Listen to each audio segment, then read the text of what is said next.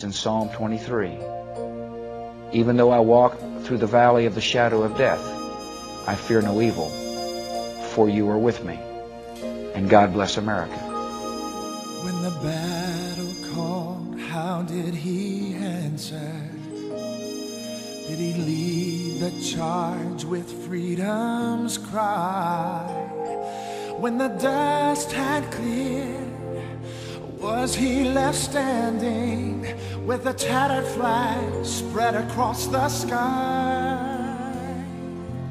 When danger called, how did she answer? Did her courage turn back the night? When the battlefield beckoned, what did they give? They gave their faith.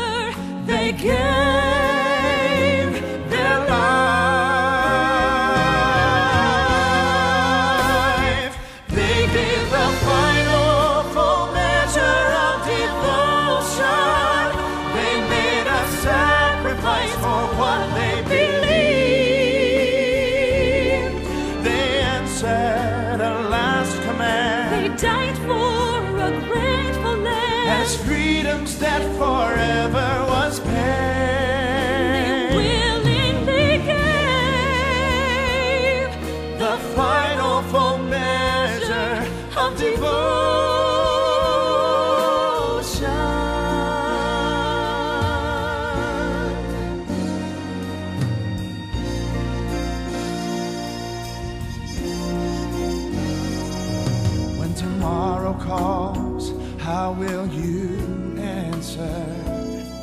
Will you choose the road that others run? Or will you find a path that's seldom taken and dare to chase the rising?